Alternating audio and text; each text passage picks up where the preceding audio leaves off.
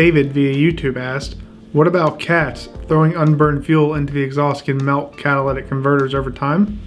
Okay, so that, this question was on our DSG fart video. Essentially how they work is it's by cutting spark during shift to allow uh, ignition retardation, which will dump fuel down the exhaust because of that because it delays the uh, ignition. The amount of fuel dumped down the exhaust during that time is so small, and a lot of the noise you're hearing is going to be the kind of the explosion of that fuel in the exhaust because it's hot, that it's not going to be something you need to worry about. In theory, you're 100% correct.